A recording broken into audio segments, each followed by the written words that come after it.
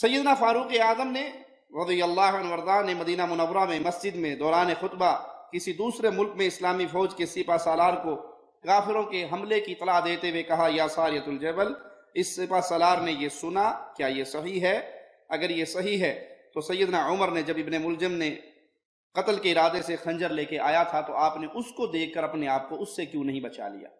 یہ روایت ضعیف ہے۔ یہ روایت صحت کے مقام کو نہیں پہنچتی۔ جس میں یہ ہے کہ آپ نے آواز لگائی اور سیدنا ساریہ اپنی فوج کو لے کے ایک پہاڑ کی طرف ہو گئے اور وہ حملہ سے بچ گئے۔ یہ روایت سندن ضعیف ہے۔ باقی یہ بات کہ پھر ابن ملجم جب خنجر لے کے آیا تو اپنے آپ کو آپ نے کیوں نہیں بچا لیا؟ علم غیب صرف اللہ کو، نہ فاروق آدم کو، نہ عثمان غنی کو، نہ اللہ کے شیر سیدنا علی کو نہ اللہ کے شیر کے فرزن سیدنا حسن کو، نہ سیدنا حسین کو، ان کے نانا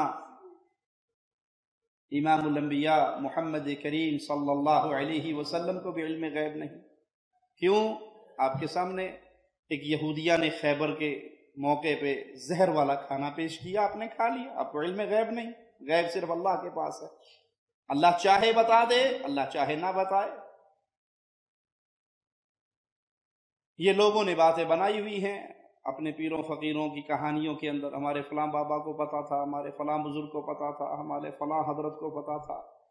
بھائی، تمہارا حضرت حضرت بنتا ہی نہیں جب تک محمد کریم کا کلمہ نہ پڑھ لے۔